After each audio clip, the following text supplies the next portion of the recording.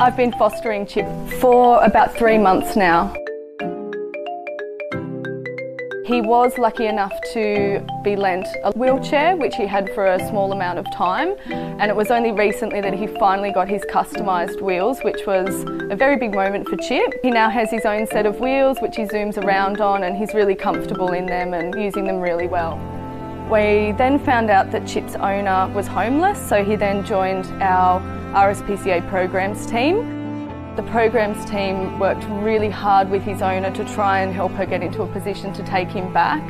Uh, there was no doubt that she loved Chip very much, but when he came into our care for the second time, uh, I knew I had to take him into foster with me. I knew I couldn't leave him at the shelter. He loves his food, he loves the outdoors, he loves being in nature, he loves sitting in the sun, and he especially loves his trips to the beach playing in the sand.